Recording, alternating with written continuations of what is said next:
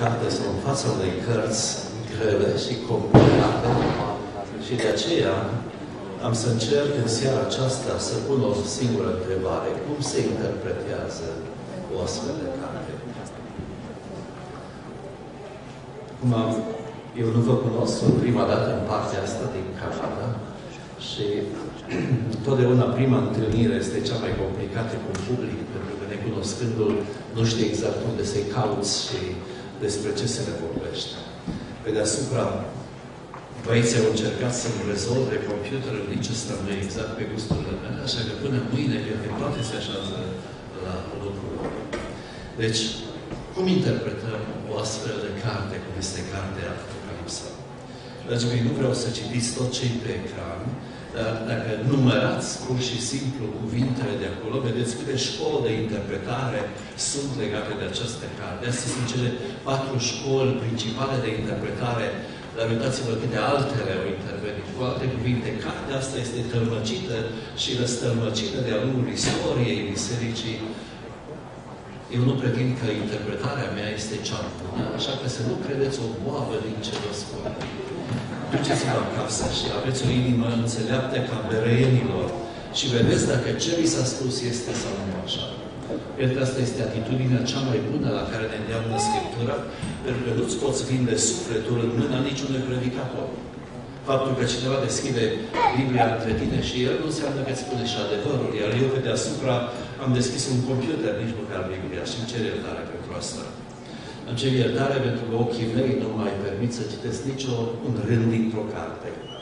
Și a trebuit să vă mulțumesc cu limitele pe care mi le-a impus Dumnezeu și de aceea predic de pe un laptop ca să măresc, să pot să văd și să citesc textul. Dacă îmi luați Biblia, eu nu mai am nimic de spus și de predicat.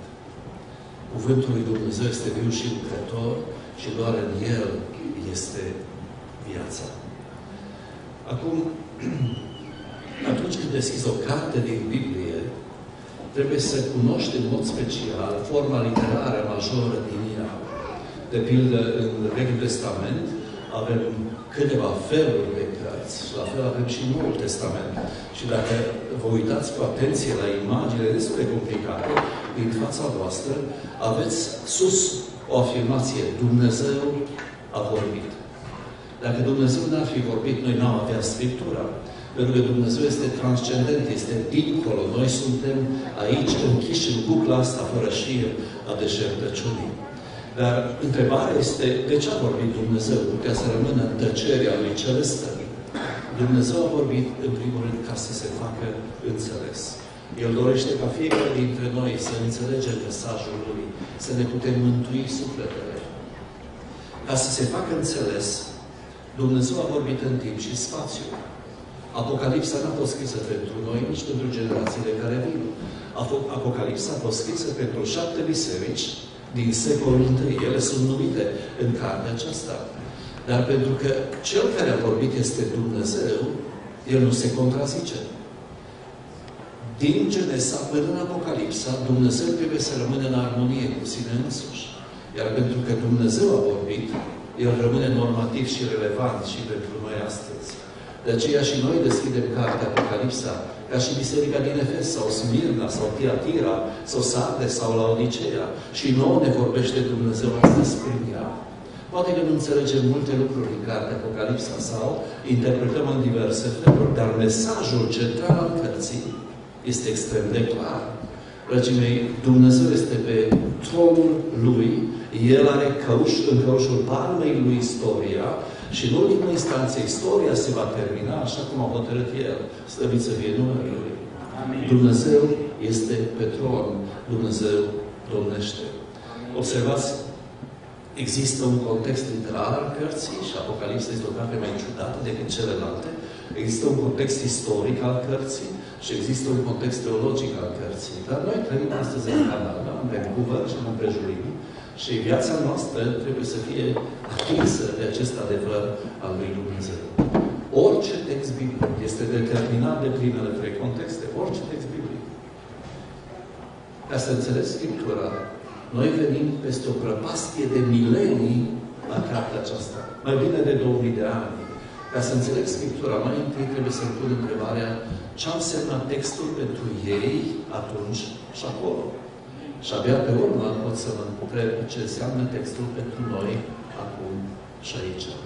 Cu alte cuvinte, vom încerca în zilele acestea să ne gândim la biserica sau bisericile locale din acele vremuri și abia pe urmă să venim la biserica noastră să vedem ce înseamnă textul pentru noi. Uitați-vă, spuneam că natura cărții determină modul în care interpretăm o carte. Acum, în cartea Apocalipsa avem cel puțin trei forme literare majore. Avem profeție, avem o literatură epistolară, sunt scrisori sau epistole trimise celor șapte biserici. Și avem o formă ciudată acestei scrieri, pe care teologii o numesc o, o scriere apocaliptică. Întrebarea este de unde să știu pe care din aceste porți să intru în cartea Apocalipsa. Ce spune Ioan despre propria sa carte? Teologii pot să spună versul scate, dar cel mai important lucru este să-L asculți pe Cel care a scris cartea.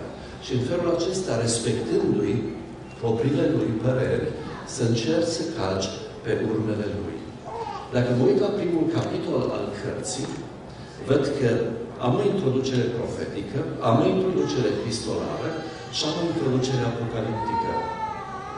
Cu alte cuvinte, din start, de la început, Ioan vine și amestecă aceste lucruri în această triplă introducere a cărții. Dați-mi voie să încep cu introducerea profetică, cu primele trei versete din carte. Descoperirea lui Isus Hristos, pe care a dat-o Dumnezeu ca să arate robilor săi lucrurile care au să se întâmple în curând. Vă rog să notați cuvintele Scripturii. Noi interpretăm Biblia în tot felul, pentru că nu suntem atenți la ce spune Biblia. Observați ca să date robilor săi ce are se întâmple în curând. Și a făcut-o cunoscut, trimițând pe îngerul său la robul său Ioan. Cine este acest Ioan? care a mărturisit despre Cuvântul lui Dumnezeu. Țineți minte cum începe Evanghelia lui Ioan? La început era Cuvântul, Cuvântul era cu Dumnezeu, Cuvântul era Dumnezeu. În Evanghelia sa, el a mărturisit despre Cuvântul lui Dumnezeu și despre mărturisirea lui Isus Hristos. Și a spus tot ce a văzut. Ascultați versetul 3. Ferice de cine citește și de cine ascultă sau cei ce ascultă cuvintele acestei prorocii și care păzesc lucrurile scrise în ea. Și din nou, vremea este aproape. Lucrurile care se întâmplă în curând.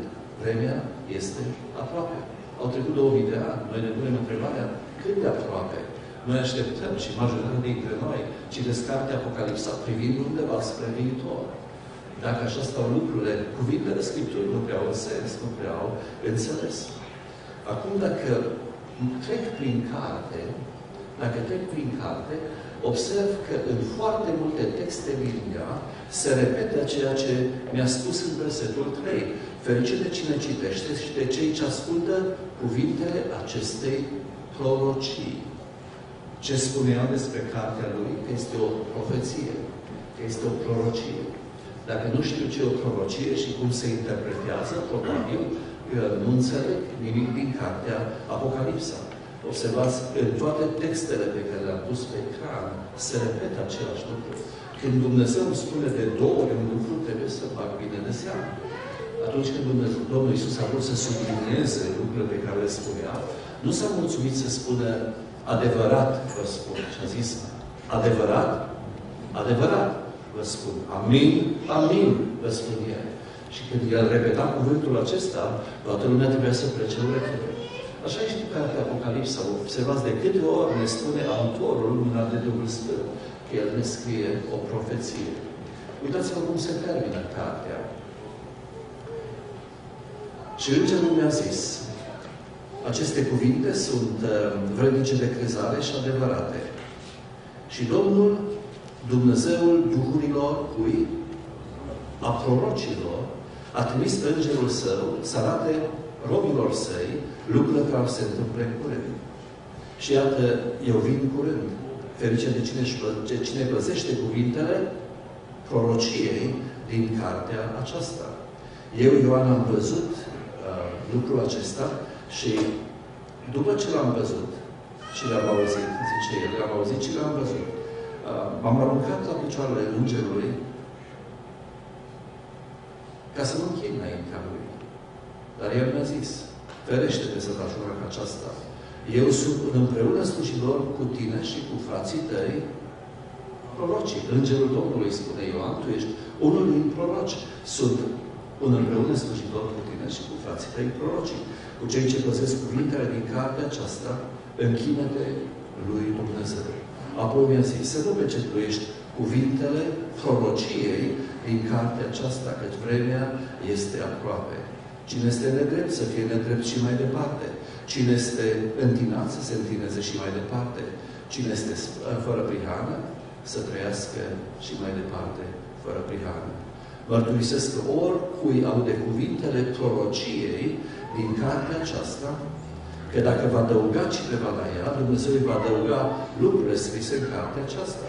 Și dacă vă scoate, va scoate cineva cuvintele, cuvinte din cuvintele cărții acestei prorocii, îi va scoate Dumnezeu partea lui de la pomul vieții și din uh, cetatea sfântă scrisă în cartea aceasta. Cu alte cuvinte, pornim la drum cu o primă concluzie, lăsând textul să vorbească. Ioan este un proroc. Și Apocalipsa este o prorocie în straie mai speciale, îmbrăcate în haine mai speciale, așa cum sunt eu astăzi.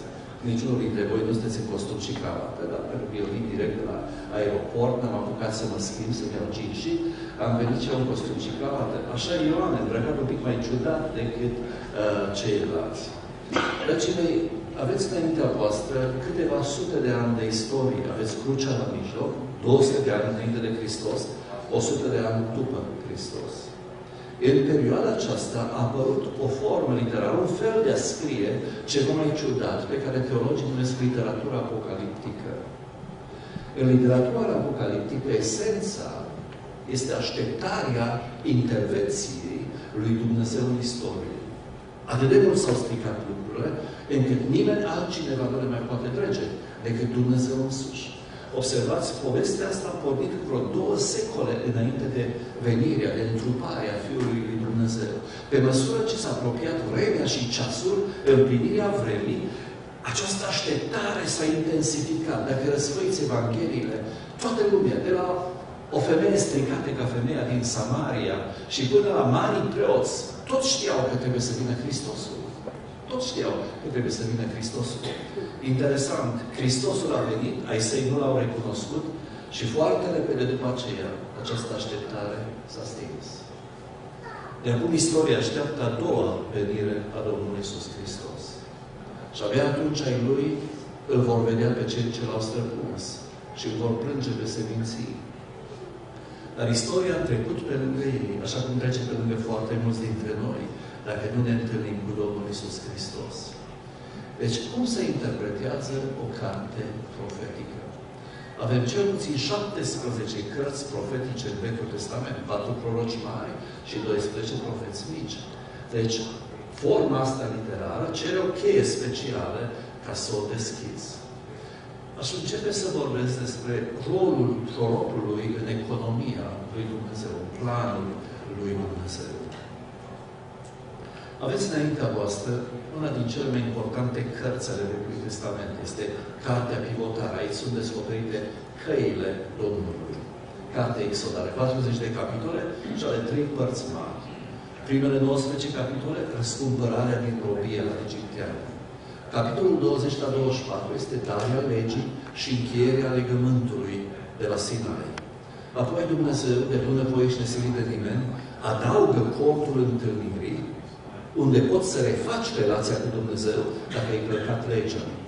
Dar vedeți că la capitolul 19 și 24 am pus două buline roșii. În capitolul 19 Dumnezeu le spune Ați văzut ce am făcut Egiptului și cum v-am purtat pe aripi de vulturi și v-am adus aici la mine acum. Dacă veți asculta glasul meu, observați verbele la viitor. Dacă veți asculta glasul meu, dacă veți păzi legământul meu, veți fi ai mei dintre toate popoarele. Deci tot pământul este al meu. Cu alte cuvinte, deși, cu alte cuvinte, deși au fost răscumpărați din robia egipteană, cu sângele mierului pascal, ei nu erau ai Domnului. Dacă veți asculta glasul meu, dacă veți păzi legământul meu, veți fi ai mei dintre toate popoarele. Căci tot pământul este al meu. Voi se coboară de pe munte, vine în fața bătrânilor lui Israel și zice, uite de care sunt condițiile intrării în legământ cu Domnul. Și bătrânii lui Israel spun, vom face tot ce a zis Domnul. Ce a zis Domnul? Domnul a zis că relația dintre mine și voi atârne de ascultarea voastră de lege. Ascultarea voastră de mine. Dragii mei, noi asta am uitat în vremea noastră. Am transformat harul în desfrânare. Dar încă de pe primele pagini ale Scripturii, Dumnezeu ne spune că norma în relația cu Dumnezeu este ascultarea de Dumnezeu.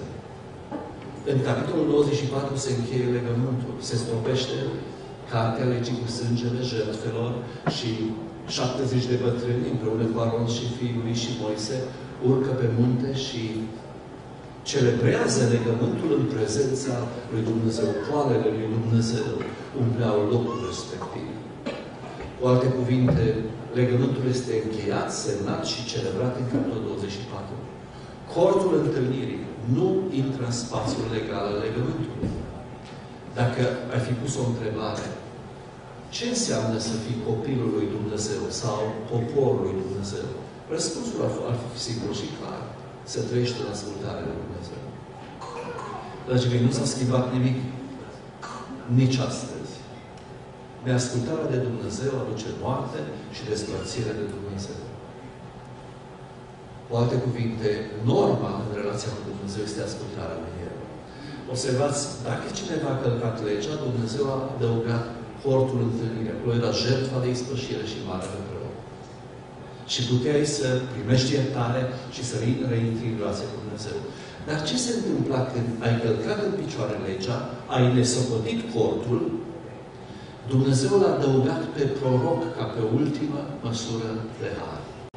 Când prorocul apărea pe scena istoriei lui Israel, toată lumea știa că dacă cineva ne socotește cuvintele prorocului, cortina cade, relația cu Dumnezeu se rupe și poporul a fost alungat în robia asiriană, 10 seminții din nord și robia babiloniană, mai târziu. Cu alte cuvinte, prorocul vestea într-un fel apropierea momentului în care Dumnezeu urma să semneze cartea de despărțire dintre el și soția lui, așa numește Vechiul Testament, pe poporul Israel. Observați între Dumnezeul Israel, între Iahve sau Jehova și poporul Israel s-a încheiat un legământ. Dar nelegiuirile au rupt legământul. Și de aceea când poporul a venit pe scenă, a venit să anunțe judecata, dacă nu se pocăiau nici în acel ultim ceas, prorocul anunța pedeapsa. Începea să rostească vaiurile profetice, anunțând pedeapsa pe care Dumnezeu urma să aducă peste poporul său. Acum, dacă vă uitați pe schema asta, nu știam dacă vin la o școală sau vin la o biserică, dar dacă mi se pare prea mult, îmi spuneți în pauză și am să încerc să simplific lucrurile. Dar aveți înaintea voastră istoria biblică. Prima porțiune de linie dreaptă sunt primele șase cărți din Scriptură, Genesa până la Iosua. Apoi urmează perioada judecătorilor, în care câteva sute de ani, dragii de istoria se frământă și oamenii au uitat într-un fel de Dumnezeu. Urmează trei buline galbene și primii trei împărați ai lui Israel. Care a fost primul? Saul. Saul, pe urmă? David. David și Solomon. Din păcate, Solomon, cel mai înțelept om de pe fața pământului, uh, ascultând mai mult de nevestele și de inima lor decât de Dumnezeu, a dus istoria la momentul în care Dumnezeu a trebuit să-l comparația. 10 seminții la nord, două seminții la sud, cu capitala la Ierusalim. Sunt două momente critice în istoria sau în legătura dintre Dumnezeu și poporul său. 722, când 10 seminții sunt trimise în robia siriană și Dumnezeu semnează cartea de despărțire cu cele 10 seminții. Și aș face o paranteză. Dragii mei, Scriptura spune în Ieremia, capitolul 3, versetul 8, vorbește despre această carte de despărțenie, citim în Cornilescu. Odată ce Dumnezeu a semnat cartea de despărțire între El și poporul Său, Poporul său nu se mai poate întoarce înapoi la Dumnezeu în baza vechiului legământ. Relația este ruptă pentru totdeauna. În 586, 100 de ani mai târziu, Dumnezeu semnează cartea de despărțire cu celelalte două seminții cu Iuda. Îi pleacă în robia babiloniană, templul este dărâmat și abia după trecerea celor 70 de ani, se întoarce Zorobabel să rezidească templul. Dar slava lui Dumnezeu nu s-a mai coborât în el. Nici în templul acela, nici în celălalt rezidit de Irod în forma lui cea mare. Legământul de Dumnezeu și poporul său era rupt. Dumnezeu a păstrat pe Israel pe scena istoriei ca să-și împlinească promisiunea făcută lui Avram. Pe mine însumi jur pentru că ai făcut lucrul acesta și l-ai cruțat pe Fiul tău. Toate familiile Pământului vor fi binecuvântate în sămânța ta. Și până când nu l-au adus pe Domnul Isus Hristos, sămânța lui Avram pe scena istoriei, Dumnezeu nu i-a lăsat să coboare de pe scenă. Le-a oferit lor mai întâi mântuirea. Când ei au refuzat-o, i-a trimis la coada rândului și a deschis mântuirea pentru neamuri. Când va intra numărul de plin al neamurilor, Dumnezeu va sta față în față cu poporul său. Și dacă poporul său se va întoarce, se va întoarce doar prin biserică. Cu alte cuvinte, va trebui să plângă pe cel ce l-au străpuns. Lucrul acesta spune Ioan în versetul 7 din capitolul 1. Dacă deschid înaintea voastră imaginea istoriei un pic mai mult, aveți istoria binecuvântării. Observați crucea în parte istoria în două. Tot ce e înainte de Hristos se adună în crucea lui Hristos. Tot ce e după Hristos pleacă din crucea lui Hristos. Autorul nostru scrie undeva înainte de anul 70, după părerea mea. Mulți împing cartea Apocalipsa și vom discuta despre asta mai târziu, în 22, 95. Dar în anul 70 se dărâmă templu. Se dărâmă templul pe care l-a zidit Irod cel Mare și în anul 132 Ierusalimul este arat și transformat într-o cetate păgână, Elia Capitolina. Și pe urmă câteva secole, niciun picior de evreu nu a mai putut călca în Ierusalim. Nu a mai putut călca în Ierusalim. Uitați-vă un pic la imaginea asta. Noi o numim fusul profetic. Aveți o morișcă acolo la mijloc. Punctul central este acumul profetic locul în care stă profetul. Profetul era un om ca tine și ca mine, trimis de Dumnezeu, să vorbească oamenilor din vremea lui. Asta este acumul profetic. Dar el purta o desagă, o desagă de aia românească, știți, pe partea de spate și una în față. Și el când mergea în mijlocul poporului, din partea din față scotea binecuvântările ca să-i atemenească să se întoarcă la Hristos. Când vedea că poporul nu răspunde la binecuvântările cu care îi chema Dumnezeu, întorcea de saga și începea să scoată blestemele. Pentru că Dumnezeu a întărit legământul său cu binecuvântări și blesteme, profetul opera cu aceste două lucruri. Binecuvântările puteau fi imediate. De pildă, vă dau un exemplu. Ierusalimul era înconjurat de oștile lui Nebucadnețar. Și Ieremia era în mijlocul cetății și îi chema la pocăință. Zedechia s-a trezit în ultimul ceas și a făcut un legământ cu poporul. Au despicat animalele, au făcut o cărare și toți mai mari lui Iuda au trecut printre dobitoace și au jurat să dea drumul robilor lor. Au dat toți drumul robilor lor. De când s-au sculat dimineața, oștile lui Nebucadnețar au plecat de sub zidul. Când au văzut că oștii au plecat de sub zidul, au zis, de ce am dat drumul robilor noștri și și-au adus robii înapoi? Și atunci a venit Ieremia și spune, cum v-ați adus voi robii înapoi, așa va aduce Dumnezeu înapoi oștile babiloniene. Cu alte cuvinte, era vorba de un viitor apropiat. S-a și întâmplat foarte curând, Ierusalimul a căzut, Zedechia a fost omorât și toți au fost duși în robie. Dar când profetul vorbește, el nu se poate opri la ziua de mâine. Dragii mei, când Dumnezeu îți vorbește despre binecuvântările Lui, vrea să ți le arate pe toate, până la sfârșitul istoriei și pe cele scatologice. Binecuvântarea și blestemul este ca și cum a intra într-un spațiu profetic și Asta face complicată profeția. Pentru că profetul poate aluneca dintr-un capăt în celălalt de la un verset la altul. La fel se întâmplă când vorbește despre blestem. Dacă nu răspunzi la amenințarea imediată a lui Dumnezeu, dragii mei, amenințările și blestemele se țin lanț până la despărțirea finală de Dumnezeu. Cu alte cuvinte, binecuvântarea și blestemul sunt două împărății, două realități. Și Dumnezeu le dorește pe toți de partea binecuvântării, nu de partea blestemului. Cum este structurată o carte ca Apocalipsa? O aveți toate înainte dumneavoastră. În capitolul 1 aveți o triplă introducere, apoi sunt cele șapte scrisori, acumul profetic. Profetul ține de vremea în care au existat aceste biserici locale, după care avem un culoar profetic un pic mai complicat, cu cai și călăreți și cu îngeri și cu fiare și balaruri și de aia e carte atât de complicată și o numesc o apocalipsă. Dar aș vrea să vă atrag atenția asupra principiului fundamental. Cartea asta nu a fost scrisă pentru noi, a fost scrisă pentru cele șapte biserici. Și de aceea, tot ce scrie în cartea aceasta trebuia să fi fost de folos celor șapte biserici.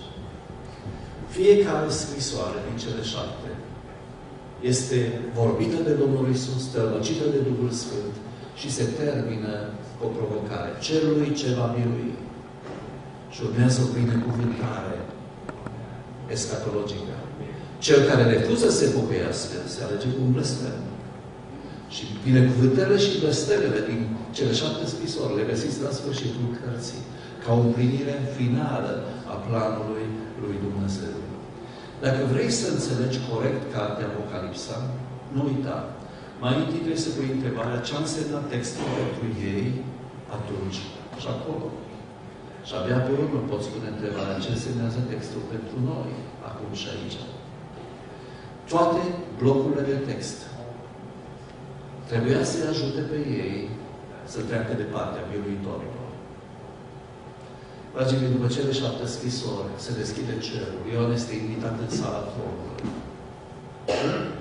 Și el vede scaunul de domnie pe cel ce șade pe el. Vede cele patru făpturi vii, cei 24 de bătrâni, miile și zecile de mii de îngeri care cântau în prezența lui Dumnezeu. Oare de ce le vorbește Dumnezeu celor șapte biserici despre așa ceva?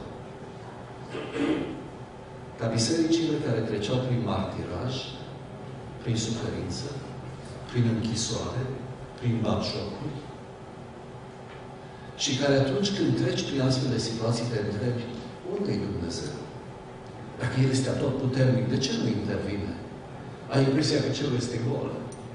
Dragii mei, prima imagine care reprezintă pe Dumnezeu pe scaunul de domnie, din tronul ei sau glasuri, fulgere și tunete, cu alte cuvinte, nu era un scaun de domnie impotent și mort, era un Dumnezeu care are istoria roșovală lui.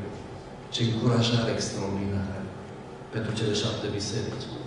Apoi Ioan trece din bloc în bloc de text, dar nu uitați, fiecare bloc de text trebuia să ajute într-un fel concret biserica să aleagă să fie de partea biruitorilor, nu de partea celor biruiți. Cu alte cuvinte, dacă vrei să înțelegi corect cartea Apocalipsa, trebuie să iei tot ce este scris în ea și să te întrebi de ce nu fi folosit lor atunci.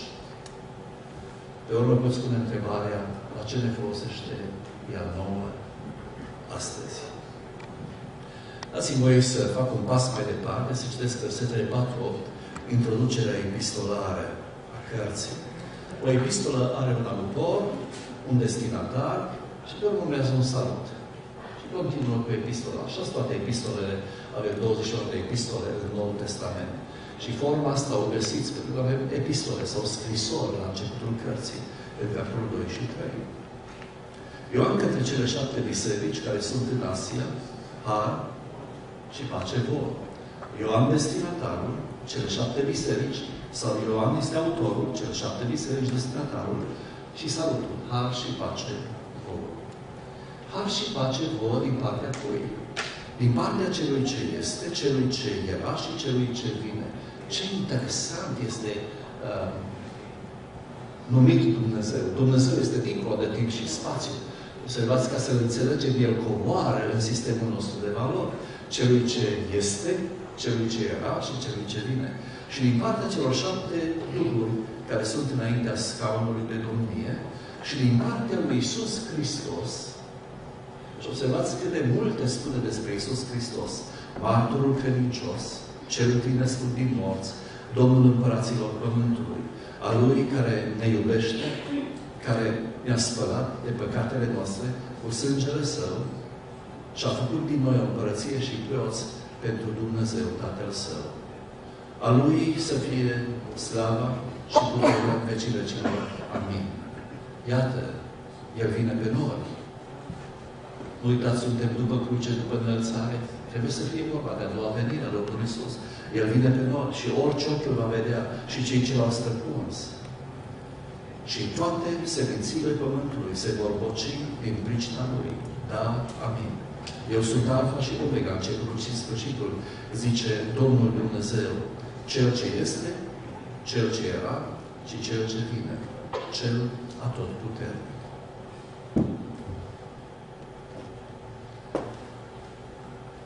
Atunci când te uiți la această introducere epistolară, ea atrage atenția asupra celor șapte epistole. Cu alte cuvinte, în centrul atenției lui Dumnezeu, când Duhul lui Dumnezeu a insuflat pe Ioan, a fost, a fost cele șapte biserici locale din Asia Mică, din secolul I, din Imperiul Roman. Și pentru că Domnul Isus este Cel care vorbește celor șapte biserici. Domnul Isus este descoperit în cartea aceasta pentru cele șapte biserici. Dacă veți citi cu atenție cele șapte scrisori, sau două capitole, puteți citi înainte să nu culcați, veți vedea că Domnul Isus Hristos se prezintă într-un fel deosebit fiecare biserică în parte. Cu alte cuvinte, dacă viața veșnică este aceasta, să te cunoască pe tine singurul Dumnezeu adevărat și pe Isus Hristos pe care l-ai trimis tu, atunci boala noastră se vindecă doar când stăm față în față cu Domnul Isus Hristos. Și Domnul Isus întoarce câte o altă față către o altă biserică, pentru că sufereau de alte boli bisericile acestea. Și se le ajunge în vindecarea lor. Domnul Isus îi se prezintă într-un mod ciudat. Dacă compui imaginile sau portretele Domnului Isus Hristos, a imaginea din partea a treia introducerii cărții. Uitați-vă la tiparul profetic al celor șapte scrisori. Fiecare scrisoare are șapte părți. Mai întâi este Domnul Isus care vorbește, apoi este Îngerul Bisericii care se adresează, apoi ce știe Hristos despre Biserică, știu faptele tale, dar ce am împotriva ta, ce așteaptă Hristos de la Biserică, urmează o binecuvântare și un blestem și urmează o provocare. Cine are urechi, să asculte ce zice Bisericilor toate scrisorile sunt în felul acesta prezentate. Dar cine este Domnul Isus? Eu sunt Alfa și Omega, cel din tâi și cel de pe urmă. Dragii mei, Domnul Isus fiind Alfa și Omega, când privește situația unei biserici, și asta e adevărat și pentru bisericile din Canada, sau privește viața unui creștin, și asta este adevărat și pentru mine, cel ce este Alfa și Omega știe exact de ce am ajuns unde sunt și știe exact care va fi destinul dacă nu fac o schimbare în viața mea acum.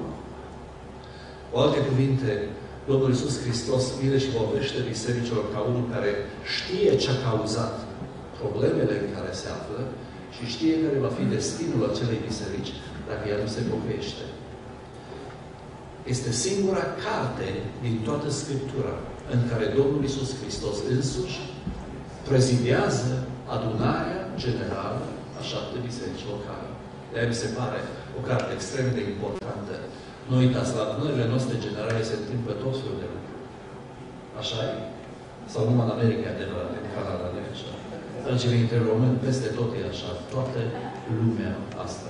De ce așa? Nu mă știu. Eu jumate maghiar, așa că pe nu mă acuzați. Eu și fratele meu aici vorbim aceeași limbă. Dar oriunde mă duc în lume, văd aceeași problemă. Știți de ce? Pentru că noi avem impresia că asta e biserica noastră, nu e a Domnului Isus. Dragii totul este gol și descoperit înaintea celuia care noi îl face. De ochii lui nu se poate nimic ascunde. Și De aceea trebuie să fim conștienți de prezența Lui, pentru că Scriptura spune că de doi sau trei sunt adunați în numele meu, sunt și eu în mijlocul lor. Dar dacă și epistolele au formă profetică, atunci imaginați-vă pe Dumnezeu vorbind prin profet. Profetul vede nelegiuirea din mijlocul poporului. Și el, vă spuneam mereu de sagă de românească cu binecuvântări și blăsteme. Plata păcatului fiind moartea, el este obligat să rostească pedeapsa peste nelegiuire. Dar în mod ciudat, toate cărțile profetice, afară de una, la unul, toate se termină pe lumină, nu pe întuneric. Pe mântuire, nu pe pedeapsă. Pentru că Dumnezeu nu dorește moartea păcătosului. Profetul este trimis ca reprezentant al lui Dumnezeu să aducă o ultimă măsură de har poporului său. Și dacă pleci urechea la vorbirea profetului, Dumnezeu schimbă pedeapsa în binecuvântare și este treaba lui de ce o face. El poate să o facă. Pentru că există un element de închidere într-un fel, în mielul acela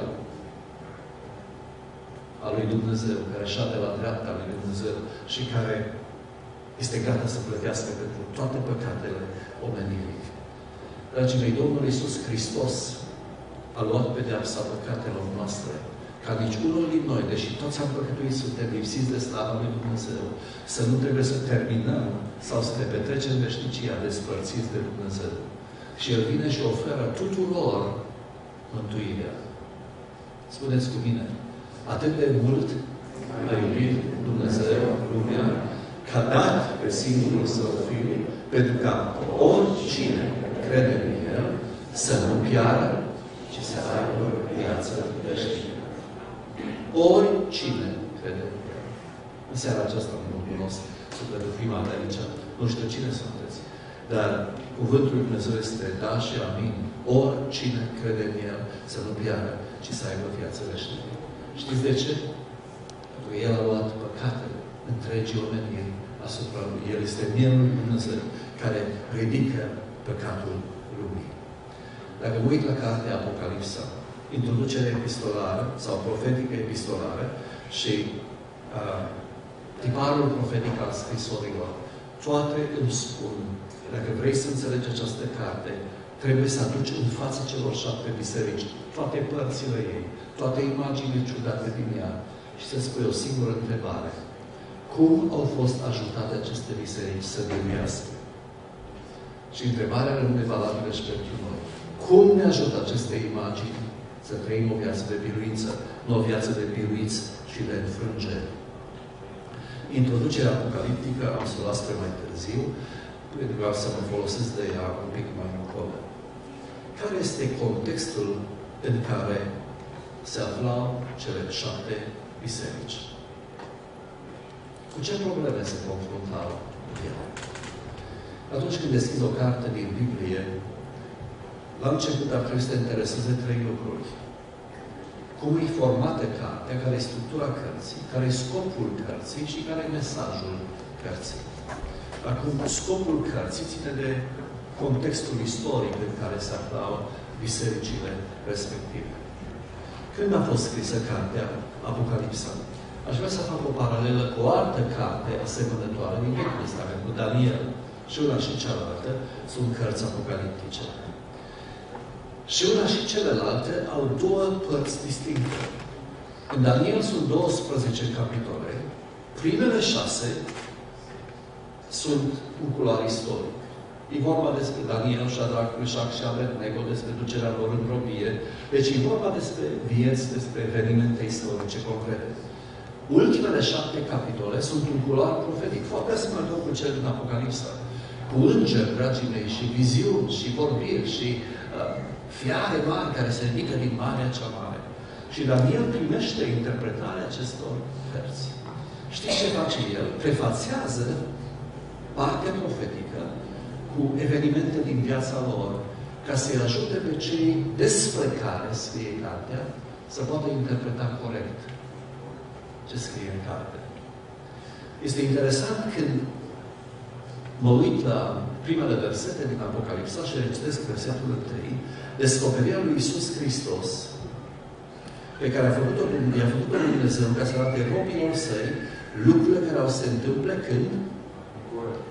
În curând. Ferice de cine citește și de cei ce ascultă cuvintele acestei prorocii și păsesc lucrurile scrise în ea, căci vremea este aproape. Întrebarea este cât de aproape. De pildă, în capitolul 22, versetul 12, și Îngerul mi-a zis, aceste cuvinte sunt vrednice de crezare și adevărate și Dumnezeul și Domnul, Dumnezeul lucrurilor prorocilor, a trimis pe Îngerul Său, la robul Său, la să arate robilor Săi, lucrurile care au se întâmple în curând.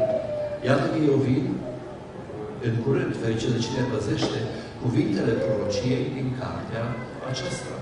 Apoi mi-a zis, să nu pecetuiești cuvintele prorociei din cartea aceasta, căci vremea este aproape. Cu alte cuvinte, nu pecetui cuvintele, căci vremea este aproape. Uitați-vă cum se termină cartea Daniel. Tu însă, Daniele, ține ascunse cuvinte, cuvintele și cuvintele acestea și pecetuiește cartea până la vremea sfârșitului. Atunci, mulți o vor citi și cunoștința va crește. Și Daniel întreabă, Doamne, când totuși te culcă împreună cu părinții tăi, până la vremea sfârșitului mai este încă mult timp. Acum uitați-vă la cele două cărți. Daniele pecetuiește cartea aceasta, pentru că nu e pentru acum, nici pentru curând, e pentru mult mai târziu. Ioan nu pecetui cartea, pentru că este pentru acum, pentru foarte aproape, pentru un curând. Acum, sunt două date pe care teologii le propun. Cei mai mulți în zilele noastre pun cartea în anul 92-95, pe vremea lui Domitian. Puțin dintre ei, și eu sunt parte dintre aceștia, spun că această carte a fost scrisă în 68-69 după Hristos. Acum, există două evenimente cruciale pentru evrei legate de aceste date. Dacă e 68-69, următorul eveniment este anul celălalt, anul 70. În anul 70 cade Ierusalimul. În anul 66 s-a declanșat războiul împotriva Romei. Din 66 până la 70, ei au încercat să țină piept romanilor, s-au mâncat unii pe alții și Dumnezeu i-a decimat prin ciumă și foamete. Mai mult de un milion de evrei au pierit atunci în cetate.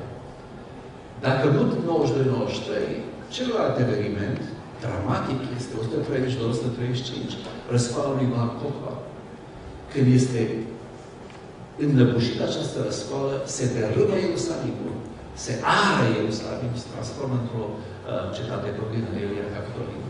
Și v-am spus, secole și evrei nu s-au mai putut întoarce. Cum cred că în curând sună mai bine la un an la altul decât peste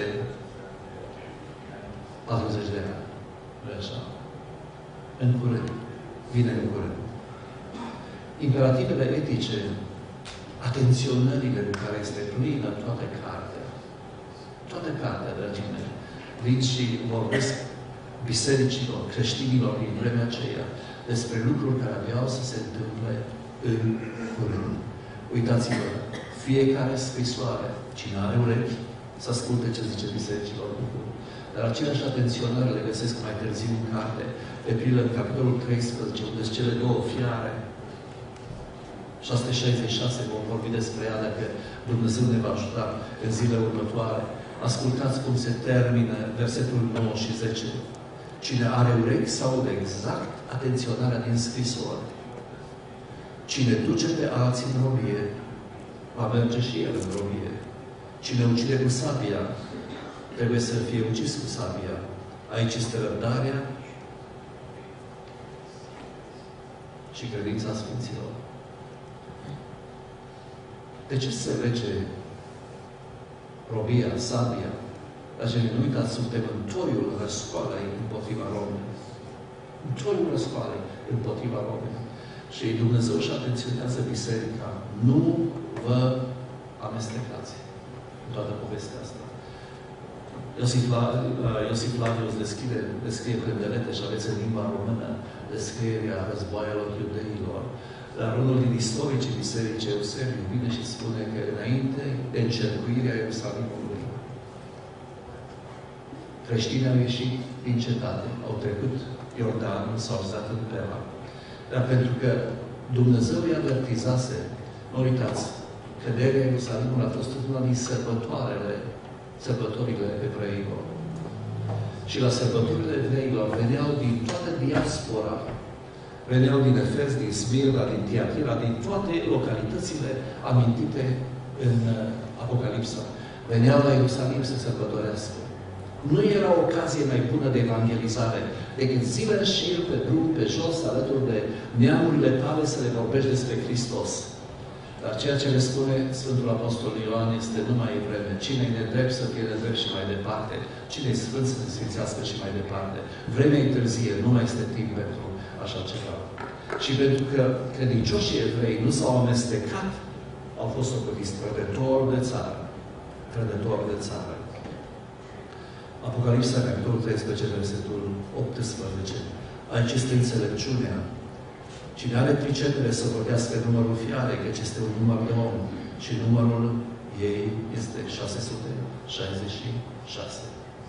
Ce însemnează lucrul acesta? Îl vom vedea mai târziu. Dar observați o altă atenționare. Cine are pricepere, gândiți-vă. Vremea este aproape. Sau, în capitolul 14, versetul 12, aici este răbdarea Sfinților care păzesc poruncile lui Dumnezeu și țin credința lui Iisus Hristos. Aici este răbdarea Sfinților. Și am auzit un glas din cer care zicea, scrie, fericit de acum încolo de morții care mor în Domnul. Da, zice Duhul, ei se vor odihni de ostenerile lor și faptele lor îi urmează. Capitolul 16, versetul 15. Iată, eu vin ca un hoț.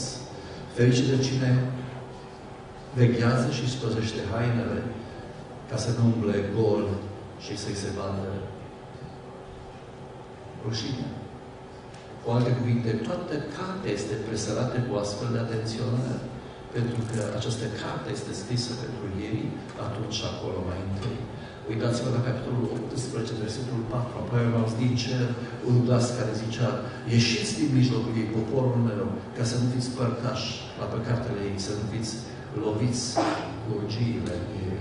Cu alte cuvinte, vine pedeapsa.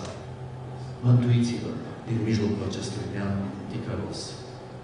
Cu 20 de ani sau cu 40 de ani în urmă, în ziua de Rusalii, când miile de oameni în ăsta Ierusalim au strigat, fraților, ce să facem? Fraților, ce să facem? Pocăiți-vă, le-a zis Petru. Fiecare din voi să fie botezat în numele Lui Iisus Hristos spre iertarea păcatelor voastre. Apoi veți primi darul Sfântului Duh. Căci făgăduința aceasta este pentru voi, pentru copiii voștri și pentru toți cei ce, cei ce sunt departe acum, oricât de mare număr îi va chema Domnul Dumnezeul nostru. Și cu multe alte cuvinte mărturisea, îi îndemna și zicea Mântuiți-vă din mijlocul acestui neam ticălos. Atunci ieșirea a fost spirituală. Ieșirea din iudaism, alipirea de Domnul Isus Hristos, intrarea în poporul lui Dumnezeu, în Biserica lui Dumnezeu. Acum însă, an mai târziu, ieșirea trebuia să fie fizică, pentru că urma să fie încercuit Ierusalimul se cade. Atunci o ieșire spirituală, acum însă o ieșire fizică. Ferice de cine citește și de cei ce ascultă cuvintele și uh, cuvintele ei și păzesc lucrurile scrise în cartea aceasta, că vremea este aproape. Oare cine puteau fi cei care ar fi trebuit să audă în primul rând cuvintele acestei scrisori? Cartea ne spune, ea însă și nu trebuie să filozofăm noi în jurul acestei întrebări. Eu sunt Alfa și Omega, spune personajul acela îmbrăcat în haina de inte care îl vede Ioan pe insula Patmos. Eu sunt Alfa și Omega, cel din și cel din urmă. Ce vezi scrie într-o carte și trimite la cele șapte biserici. Efes, Spirna, Tăvian, Tiatira, Sardis, Philadelphia și la Odisee. Acestea sunt destinatarii primari ai cărții Apocalipsa. Lor le-a fost scrisă cartea. Dar pentru că Dumnezeu este același era și în veci. Cartea dragii mei ne vorbește și nouă. Dar nu uitați, dacă vrei să înțelegi corect această carte, puneți o singură întrebare. Prin tot ce Dumnezeu le spune prin Ioan, cum au fost ei ajutați să biruiască? Dorința lui Dumnezeu este să mântuiască pe toți oamenii. Dar nu obligă pe nimeni. Și de aceea trebuie să te ajuți, să te lași ajutat ca să fii printre biruitori. Și ăsta este rostul Scripturii. Asta este rostul cărții Apocalipsa. Capitolul 22, versetele 10 și 11. Apoi mi-a zis să nu pecetuiești cuvintele prorociei din cartea aceasta, căci vremea este aproape. Oare cât de aproape? Uitați-vă la acest verset și trageți simplu concluzia. Atât de aproape, încât cine este drept, sau nedrept să fie nedrept și mai departe. Cine este întinat să se întineze și mai departe. Cine este fără prihană să trăiască și mai departe fără prihană. Cine este sfânt să se sfințească și mai departe. Ați voie să vă duc gândul la o situație similară. Ați auzit de Lot și de Sodoma? Și de îngerii care au venit la el? Au venit la Lot. Știți cât de stricat era, stricat era cetatea aceea. Au venit la el și au zis, ia-ți familia și ieși! Lot a zis, stai, stai, stai, stai, să mă duc la cigării mei. Am fete maritate. Și în toiul nopții a ieșit afară și a fugit la unul și la celălalt și a scurat din somn și a zis, ieșiți, ieșiți! Bătrână. Ți-ai gândit minții, ești nopți, 12 noaptea. Și te-a apucat, lasă până dimineață. Îngerul trebuie să le de fundul pantalonilor, să arunce afară din cetate cu el și casa lui. Nici n-a apucat să iasă din cetate și ploaie de foc. A coborât peste cetate. A avut vreme de evangelizare, Lot? Nu, dragii mei. N-a mai fost vreme de evangelizare. Atât de acum pe era pedeapsă.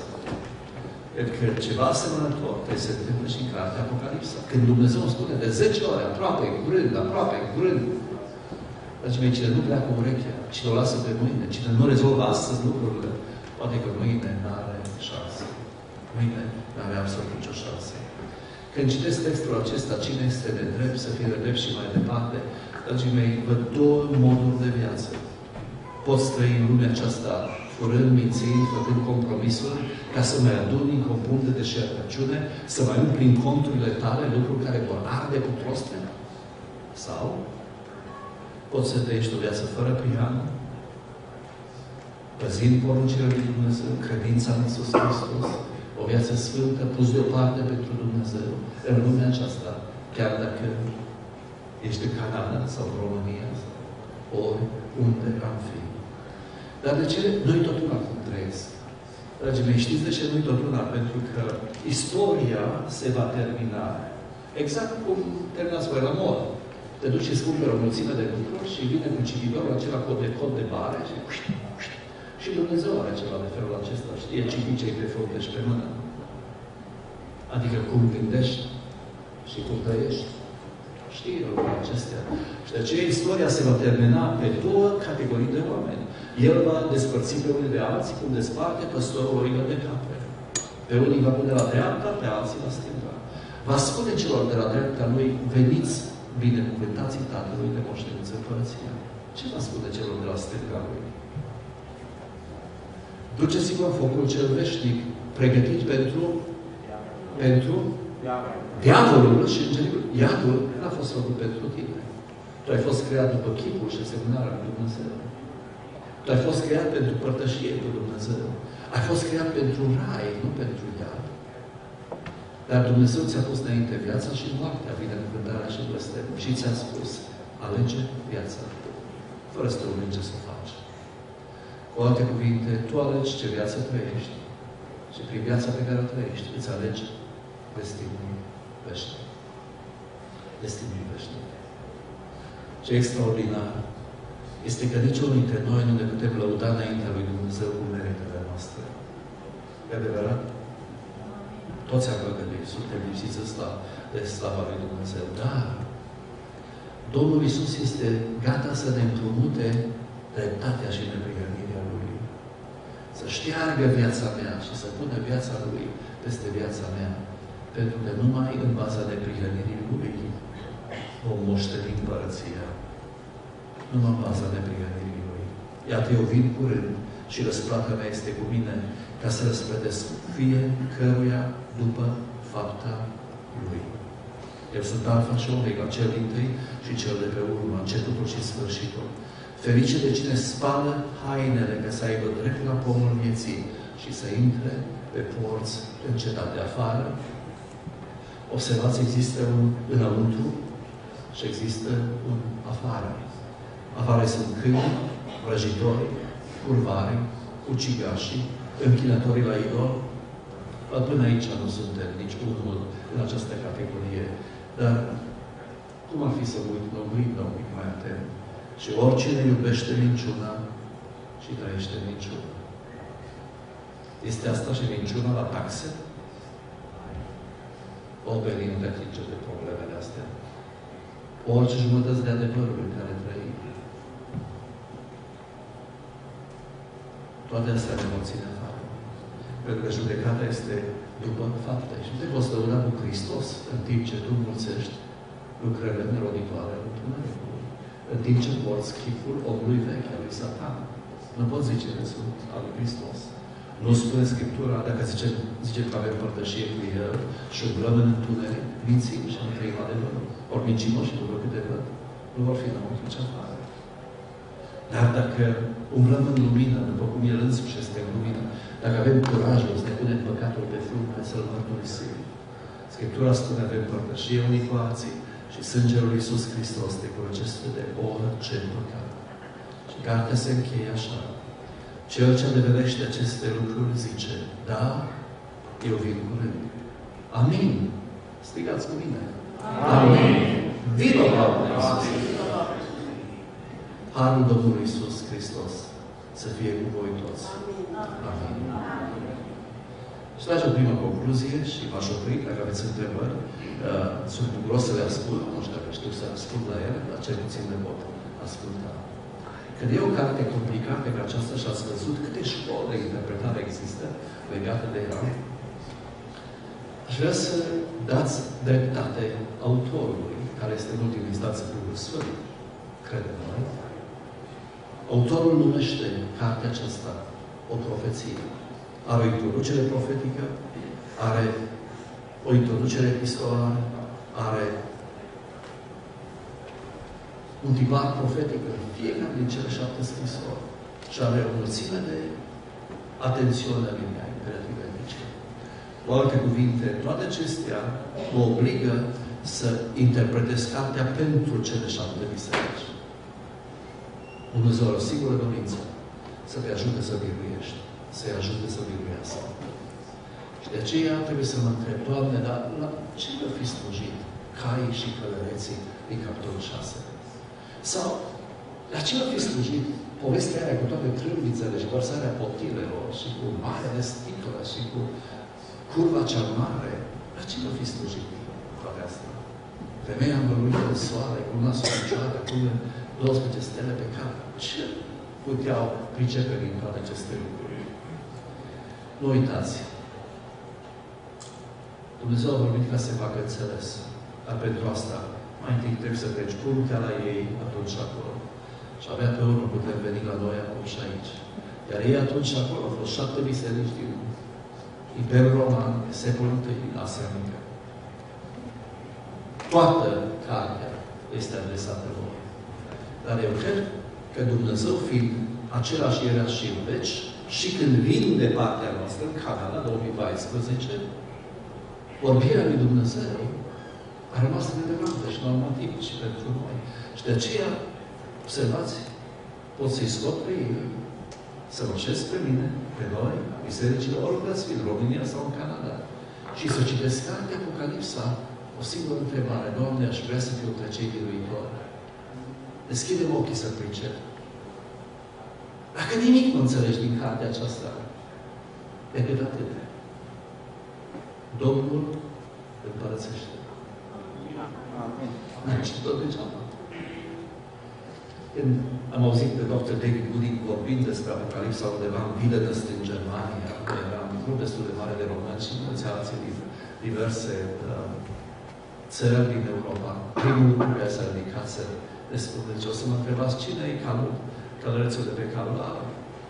S-a uitat la noi a zâmbit și a zis, nu o să vă spun. O să mă întrebați cine e femeia din capitolul 12? Nu o să vă spun. O să mă întrebați cine e curva cea mare? Nu o să vă spun. Și noi am zis, atunci o să ne spui. Știți ce a spus într-o săptămână? Dumnezeu împărățește. Și când crezi în suveranitatea lui Dumnezeu, indiferent prin ce circunstanțe trece, ești între cei grăiți. Pentru că viața veșnică este aceasta, să te cunoască pe tine, singurul Dumnezeu adevărat și pe Iisus Hristos, pe care l-ai trimis. Așa să ne ajute uh, Dumnezeu. Amin. Amin.